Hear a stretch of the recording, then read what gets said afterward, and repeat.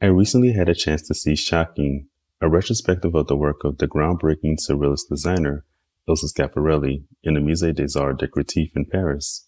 This, however, isn't the first exhibition devoted to her oeuvre. The show differs from others in its focus on Schiaparelli's relationship with artists like Man Ray, Jean Cocteau, and of course, Salvador Dali. There's also a heavy focus on the relationship between Schiaparelli house codes and the work of the brand's current creative director, Daniel Roseberry. In fact, the show includes the latest and greatest from the house of Schiaparelli, including looks plucked off their most recent runways and gowns worn by Beyonce, Lady Gaga, and Bella Hadid.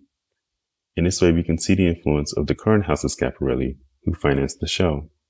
Shocking, unshockingly, functions as an ad for the house, revealing the cozy relationship between curation and commerce in fashion exhibitions.